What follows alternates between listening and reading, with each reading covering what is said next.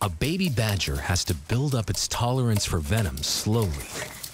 A mother helps by regulating her cubs' exposure, sometimes starting them on mild stingers. This badger is working on his venom vaccines. Scorpions are the training wheels of venom. Their sting is bad, but not as toxic as a cobra's. It kills insect prey and wards off attackers. The badger knows the drill, positioning himself to take out the tail.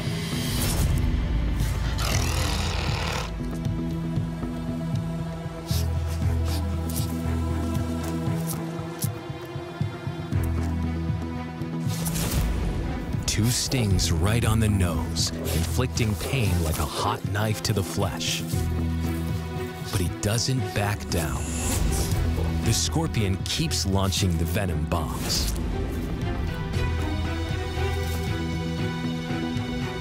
In a bold move, Badger goes right for the stinger.